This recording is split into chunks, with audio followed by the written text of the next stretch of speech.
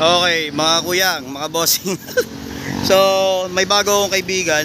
Ito yung motor ko, dala ko, sniper. Tapos, nandito kay ah, Master Brake Bonding and Clutch Relining. Ayan. Ngayon mga kaibigan, alam niyo yung mga ginagawa ko, di ba? Medyo maungol ngayon yung mga napupudpud na clutch bell. Tapos, ah, mga bagay na, ewan ko ba, yung mga dragging issues, yung mga ganyan. Parating issue natin yan sa clutch scooter. So, ang gagawin ko ngayon is, ah, eto kasi, ah, nakita ko lang na meron siyang capacity na gumawa ng mga clutch lining, lalo na yung mga nag-experiment, experiment dyan. Kakausapin ko siya ngayon kasi gusto ko sana maintindihan yung tatlong klase ng lining. Kasi kung makikita nyo no tatlo ang lining na available sa market. May itim, may puti, tsaka may gray. Ngayon ito si Master eh tinanong ko siya kanina kung kaya niya sa akin ipaliwanag. Sabi ko maganda nito, masishare niya din sa atin ngayon kung ano yung pinagkaiba ng tatlo. Magsisimula muna tayo doon tapos tingnan natin kung ano yung ah, pinagkaiba din susubukan natin na gumawa siya ng lining tapos gagamitin natin sa racing dun sa ah, kaibigan natin dito kay Mickey Los Baños okay? So kausapin muna natin si kuya kasi may pinakita siya sa akin na tatlo. Gusto ko lang maintindihan yon okay? Kuya ayan ayan. Okay. Okay mga bossing. So ayan. Ilang materials kuya yan Bale, apat po ito. apat teka pakilala ka muna ano pangalan mo kuya bakit master Ah, sa business ng family namin. taga saan ka po talaga kuya Hindi po kami sa Nagaligas po ang parents ko. Okay. Eh, ano kami sa Mindoro. Lahat po dito sa Bigaw, sa... Pero ang business nyo, mga brake banding. Yung sa Legazpi, may brake banding doon. Kamag-anak mo pa yon hindi? Meron po kami rin. Ah, meron kayo relatives doon. Ano pangalan mo kuya? B-boy po. B-boy. B-boy, ano Ahero. apelyido? Ahero, ayun. So ngayon kasi, di ba kuya, ah, ang mga clutch lining is ah, madalas, ganyan yung mga kulay sa market. Ang problema ngayon kuya, wala kasi akong alam na declaration, pero si Pitts Bike, meron kami mga lining na import. Ngayon, gusto ko malaman ngayon, yung specifics na knowledge dito sa mga lining. Ay kuya, ano yan kuya? Ayan, kaya yan sa auto. Ang nakakabit sa mga brand new sa aftermarket na nabibili, Okay. yung tinatawag sa na replacement sir, hard compound. Okay, hard compound. Pero ano yan, sa auto? Opo, sa auto. Pero ganito rin po yung nakakabit sa mga sa sa original, sa stock, Okay. sa aftermarket ganito po. Ganyan. Ganito. Tapos sir, ah, ta- tanong lang, yung clutch ba is same ng brake? Yung material? Pa, halos same. Halos same po. Ah, Kasi may okay. drum po siya, may ano. Oo. Iba naman yung clutch na may plate. Iba din yung may plate na clutch. So doon Ito nagkakatalo. po yung kinakabit natin, lahat po ito is ano.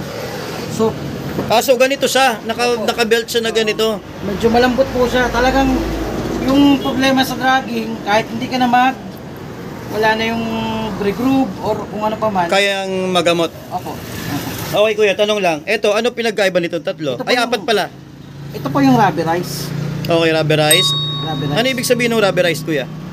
Depende kung depende po sa gamit mo kasi kung Okay. pang touring o pang race, depende.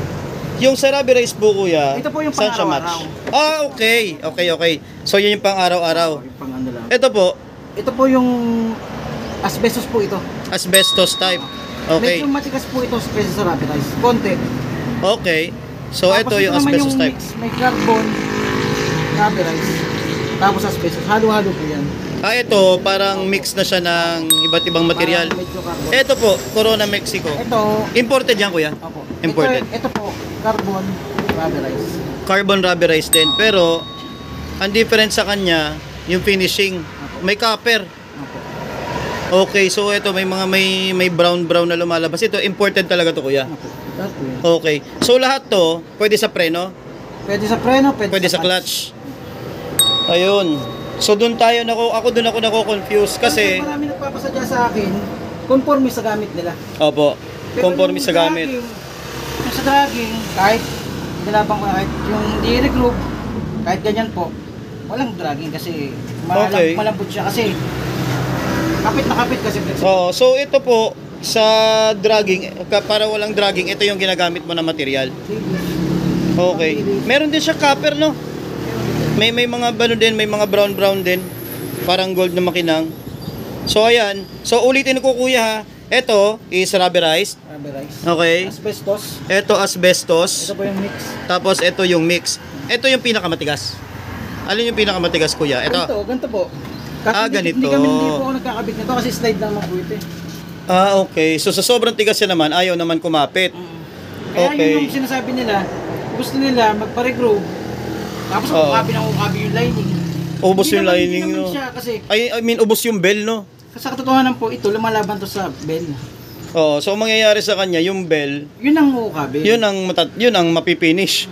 No. Tapos Unlike na ito, agad. Ito talagang kakapit din sa bell. Kahit, kahit ano, stock bell. Kahit Okay.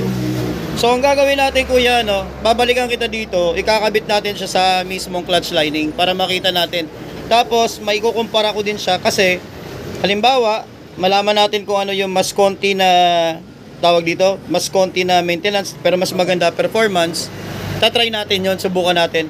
Ang gawin natin siguro, kukuha ako ng ano ng ah, clutch na ano na ano 'di ba? Yung para clutch holder. Tapos Para, tig-isa ano, para sa fit na fit yung ano, dali mo yung bell. Oo, oh, dadaling ko yung bell. Sige. So, yan mga kaibigan, ano? Ito si Master B-Boy. Ayan.